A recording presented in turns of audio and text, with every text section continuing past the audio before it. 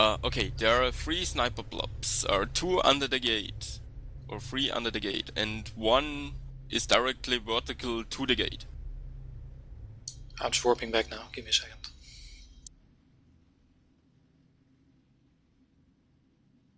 Oh, uh, by the way, how